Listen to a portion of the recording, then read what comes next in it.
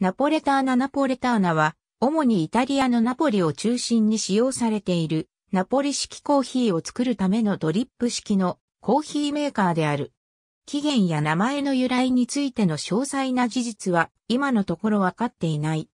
類似のコーヒー抽出機の特許の図面が19世紀の前半に数多く出されており、そうしたフランスでの発明がイタリアに持ち込まれて普及したという説もあるが、イリーシャはこの器具は1691年にドベロイが発明した最初のドリップポットをもとにナポリで発明されたと説明している。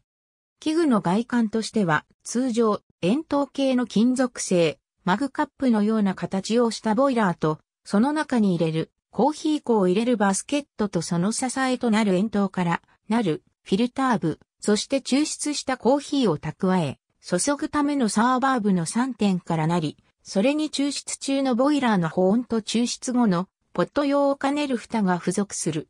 使用手順としては、まずフィルター部分にコーヒーの粉を入れ、ボイラー部に水を注ぎ、フィルター部をボイラーの中に入れる。それからサーバー部を上部に取り付けて、全パーツを接続し、ボイラーをそのまま火にかける。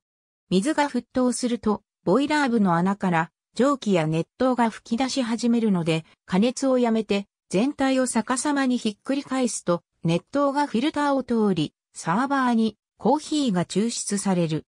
ボイラー部分を直接的に加熱するという点では、モカエキスプレスと同一だが、蒸気圧ではなく単純にひっくり返すことによる重力を利用してコーヒーを抽出するという点では、どちらかというと一般的なペーパードリップ等に類似している。